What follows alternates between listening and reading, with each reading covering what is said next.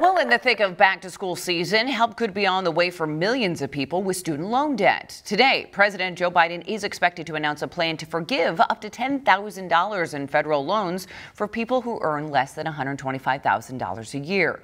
The Associated Press reports that the announcement will also include extending a pause on payments until January. Now, the current pause is set to end on August 31st.